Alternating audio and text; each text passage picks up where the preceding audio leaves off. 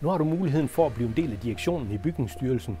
Vi er en af Danmarks største ejendomsvirksomheder, og lige nu der søger vi en ny visdirektør til det område, vi kalder Facility Management. Vi er statens ejendomsvirksomhed og bygherre.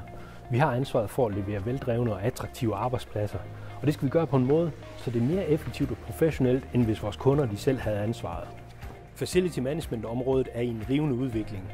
Sammen med vores leverandør, der skal vi levere blandt andet receptioner, kantiner og rengøring til arbejdspladser i hele Danmark.